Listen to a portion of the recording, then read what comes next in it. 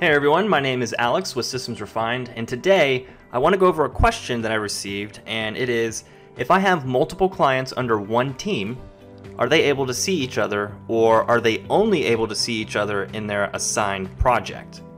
So I'll show you what happens when you have multiple outside Asana users that are assigned to different projects and tasks. I created a few projects. Uh, I have one here, plumbing client, which Derek is assigned to. Um, you can see here, so I have Derek. And then the yoga client, I have Allison, if you see here. But I also have a task that I assigned Allison to in the content calendar project. So you can see here, that's, that's her right there. And um, let's go ahead and see what they see. So let me go to Allison's project first. So right away you can see that she is only a part of the yoga client project. So I did not add her to the, the team or the workspace. I only added her to the, the project. So she will only see whatever is in this project here. Um, but I did assign her a task in the content calendar. And in order for her to see that, she'll actually have to go to My Tasks, and it'll show up right here. But you, she also will not see the project that it is a part of.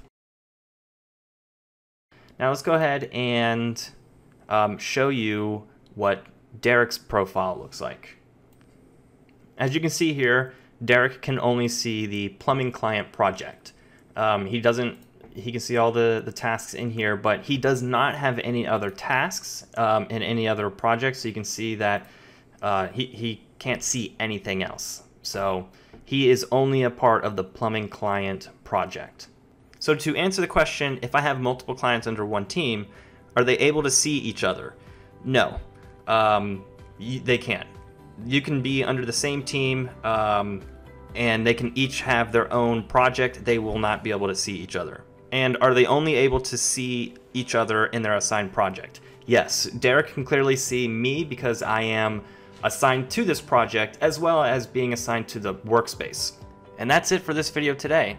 Thanks for watching. If you found this video valuable, be sure to click that like button and click on subscribe so you don't miss out on any new Asana Tips videos.